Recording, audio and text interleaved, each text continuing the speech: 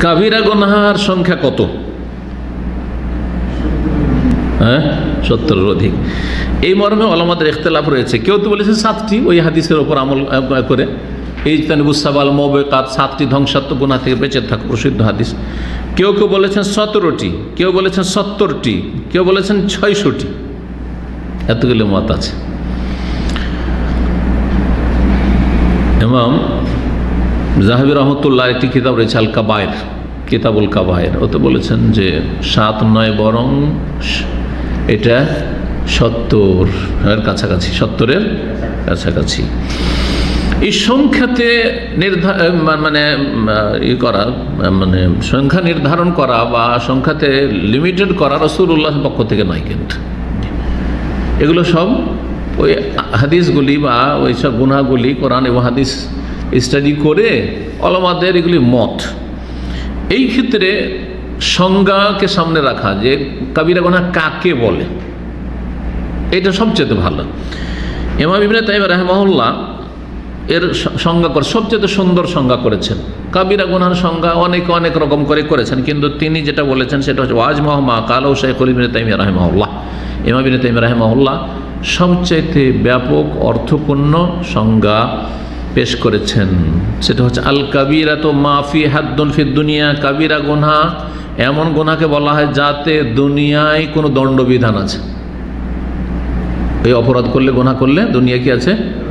যেমন চোরের হাত কাটা, খুন করলে কেসাস হ্যাঁ জেনার, বিবাহিত হইলেও শাস্তি, অবিবাহিত হইলেও শাস্তি, দুই রকম শাস্তি রয়েছে। মদদের শাস্তি আছে, দণ্ডবিধান যেগুলোতে আছে। আর ওয়াইদুল ফিল আখের এরকম মিথ্যা অপবাদ দিলে, জেনা, ব্যবিচার বা সমকামিতের মিথ্যা অপবাদ দিলে, এমনি অন্য কোনো মিথ্যা অপবাদ নয় তাহলে তার জন্য আশি কোড়া, আশিটি বেতরা হাত। এগুলো হচ্ছে কাবিরা। তাহলে করল মাফ ফি দুনিয়ায় কোনো দণ্ডবিধান আছে, নির্ধারিত আছে? আর ওয়াইদুন ফিল আখের অথবা পরকালে কঠোর বা কঠিন শাস্তির কথা বলা হয়েছে। কোরআনে হাদিসে বলা হয়েছে, এই, এইরকম অপরাধ করলে কি হবে? কঠিন শাস্তি হবে। আও গজব অথবা আল্লাহর গজবের কথা বলা হয়েছে। আও লান সাহেবে হা অথবা যে এই পাপ করবে তার উপর লানাত রয়েছে, অভিশাপ রয়েছে। যেমন ঘুষখোর, যে ঘুষ খায় ঘুষ দেয়, লান আল্লাহর রাশি মুরতাসি লান আল্লাহ আকেলের বা মুকেলাহ, সুদখোর এবং যে সুদ খাওয়াবে, সুদের সাক্ষী থাকবে, সুদের লেখাপড়া করবে, সবার উপরে লানত রয়েছে। তাহলে বোঝা গেল যে সুদের গুণা ঘুষের গুণা এগুলো কাবিরা। আও নাফিউল ইমানে আনহু, অথবা যে এই পাপ করবে, তার মধ্যে ইমান নেই বলা হয়েছে। লা ইমান আলাম লেমাল্লা আমানত আলাহ যার আমানত নেই, তার ইমান নেই। তাহলে কেউ আমানতে যদি খেয়ানত করে, তাহলে সেটা কাবিরা গুনা ইমান নেই মানে কাফের হয়ে জানে সবসময়, কিন্তু তার পূর্ণ ইমান নেই।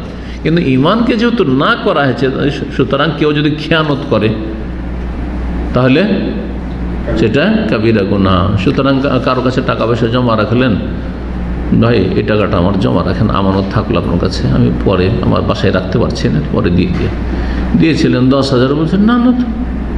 পাঁচ হাজার দিয়েছ তো অসুবিধা আট হাজার দিয়েছ। যে কোনো রকমের খেয়ানত হইতে পারে। এই ধরনের যে কোনো রকমের খেয়ানত হইতে পারে।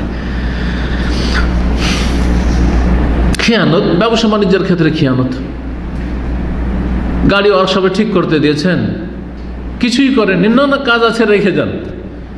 আর তারপরে সামান্য একটু কিছু করে এক দু মিনিটে বলছে যে, আপনার এই লাগিয়েছি, সেই লাগিয়েছি, এটা লাগিয়েছি, ওইটা লাগিয়েছি। দিয়ে পয়সা আপনার কাছে আদায় করে নিল। খেয়ানত হচ্ছে কোম্পানির পক্ষ থেকে, আপনাকে হোটেলে খাবার নেওয়ার জন্য পাঠিয়েছে। এগুলো করে অনেকে। কথা বুঝতে পারছেন?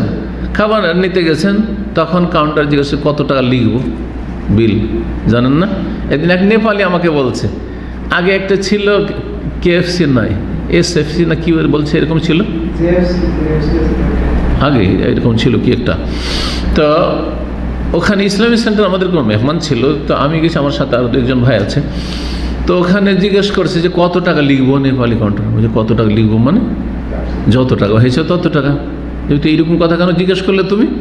এইখানে গিজাজ, গিজাজের। এই যে নিষ্ঠ আছে ওইখানে এরকম ছিল একটা দোকান। তো বলছে যে, সবকই আইসা করতে হয় নেপালি বলছে, সবাই তো এরকম করে। হ্যাঁ জিজ্ঞাসা করি, যত টাকা লিখতে বলো তত টাকা আমরা লিখে দিই।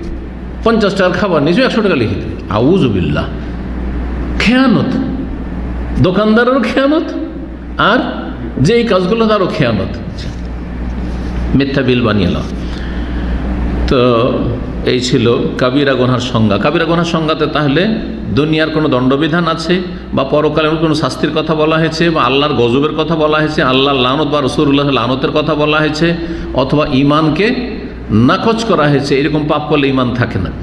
তাহলে এগুলি হচ্ছে কাবিরা গোনা। আর এমন কিছু যদি না থাকে, কোনো এরকম কিছু নেই, কিন্তু সেগুলি গোনা না যায় তাহলে সেগুলি হচ্ছে সাগিরা। সাগিরা যদি বারবার হইতে থাকে তো সেটা কি হয়ে যাবে? কাবিরা। হয়ে এটাও মনে রাখবেন ধরেন রাস্তা দিয়ে একটা মেয়ে যাচ্ছে হঠাৎ অনিচ্ছাকৃত নজর পড়ল ওটা তো মাফ। কিন্তু দ্বিতীয়বার আবার মন অথবা একবার নজর পড়লে কিন্তু নজরটা দিয়েই থাকলেন আপনি। তখন পাপ শুরু হলো সাগিরা শুরু হলো। কিন্তু সেটা যদি অহরহ করে এবং মহিলাদেরকে দেখার জন্যই যায় মহিলা দেখলেই শুধু তাকাতে থাকে তখন আর সাগিরা সাগিরা থাকবে না। তখন কি হয়ে যাবে? কাবিরা। হয়ে যাবে। এরকম যে কোনো গোনার ক্ষেত্রে সাগিরা গোনা বারবার করতে থাকলে অহরহ করতে থাকলে খুব বেশি পরিমাণে হলে সেটা কি হয়ে যাবে? কাবিরা গোনা হয়ে যাবে। এখানে আজকের আলোচনা শেষ করছি। ওসল্লা সাল্লাম নবীনা মোহাম্মদ ওয়ালা আলহি ওসাহাবি